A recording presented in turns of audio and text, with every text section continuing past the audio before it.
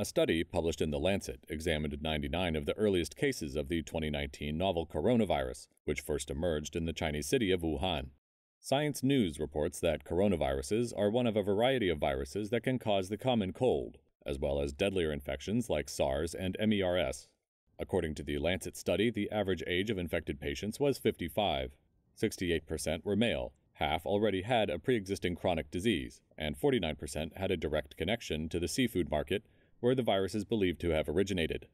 Fever and cough were the two most prominent and consistent symptoms of the virus, with most of the infected displaying these symptoms on admission to a hospital. Other patients exhibited shortness of breath, muscle aches, and headaches.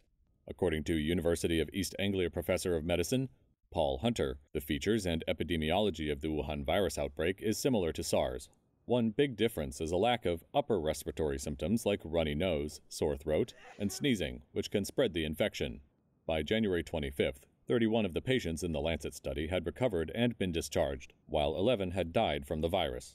Most of the deceased were over 60 with pre existing medical conditions and died primarily from a critical form of respiratory failure called acute respiratory distress syndrome. The study also found that, similar to the SARS and MERS outbreaks, the virus had a higher infection risk to men than women.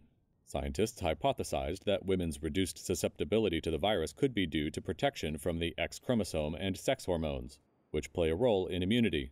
According to China's National Health Commission, the novel coronavirus is contagious during its incubation period, before patients start showing visible symptoms. This incubation period lasts up to 14 days.